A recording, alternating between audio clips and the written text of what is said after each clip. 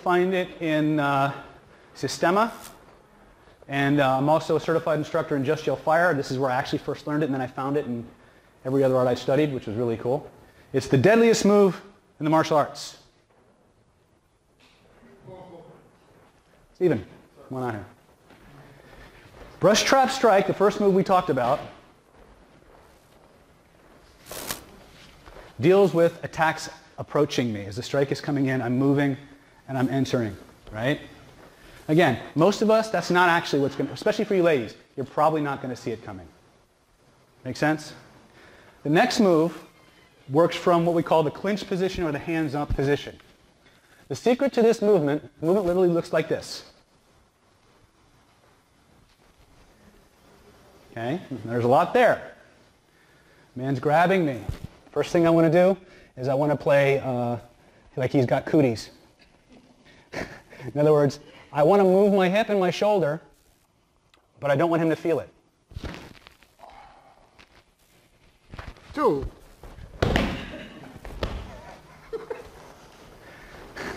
That was part of the move. The tighter somebody grabs you, the more of a connection they give you. Which, by the way, since we're on the pressure point segment, we'll start with something really cool about pressure points. He's choking me. Everybody knows what yin and yang is, right? This means yes, this means no. Yin and yang? Yin and yang. Yin and yang, right? Yeah. This means, by the way, this means yes, this means no. This means I know the answer. This means I don't. This means, oh shit, I hope he doesn't do that to me. Right? So, from this position, okay, first thing that happens, the minute we feel hands around our neck, we go, help, help me, help me, help me, and we die because we don't take his hand away. Right? Most of us don't realize that the minute somebody grabs you with their hands, they're poking in the eyes. Right? But most, most of the time when I show that move, the first thing I hear is, ew. If you're going ew now, you probably won't do it out there either. You won't practice it. So, but when in doubt, jab him in the eye. There's another one that you can learn, I learned from uh, Grandmaster Wally Jay, from a brown belt in small circle jiu-jitsu. Find the nipple line, dead center of the sternum, take that knuckle,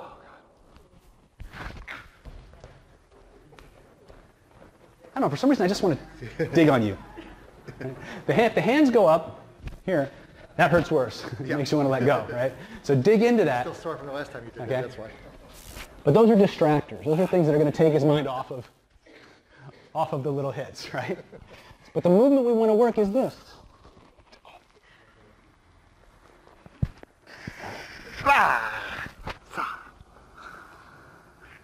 That's just one variation. The movement is drop your knees, dip your shoulder, brush your hair, be dainty.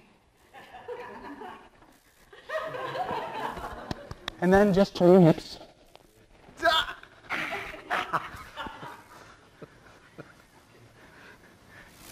Other side. So here.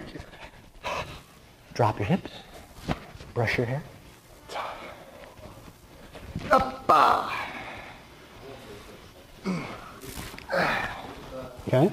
Or we can go back to that whole yin yang thing I was telling you about. Yin meridians are on the inside of the arm. Yang meridians are on the outside of the arm. Yang meridians entice the body. They draw the body in. Do this? Yang meridians open and repel the body. So he grabs me tight, strong like bull. Strong like bull. Can, you, can I borrow you? He chokes me, big, strong guy.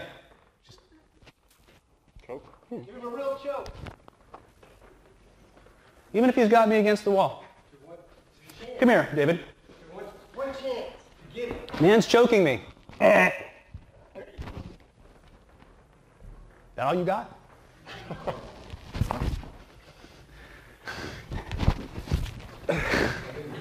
and that's me just moving. The secret is, it's because the, I don't know if the Chinese figured out some weird energetic thing, but for some strange reason, anytime you have an outward movement on the outside of the arm, the spine does this, and it opens you up. So what, first thing, before we get into the hairbrush side of things, just work from a choke, find the triceps.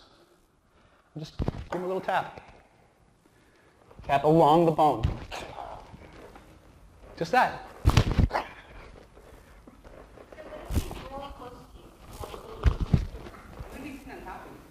Sitting on, oh, that's different. We'll get to that later.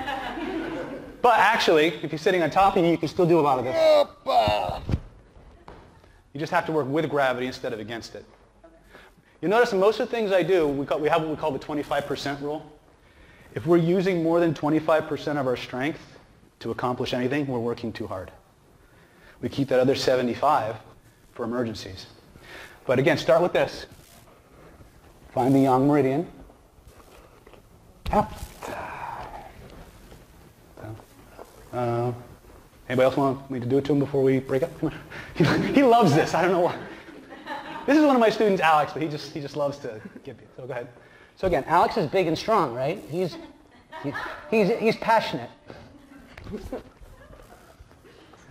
Right? Even if he's forcing me back. Right?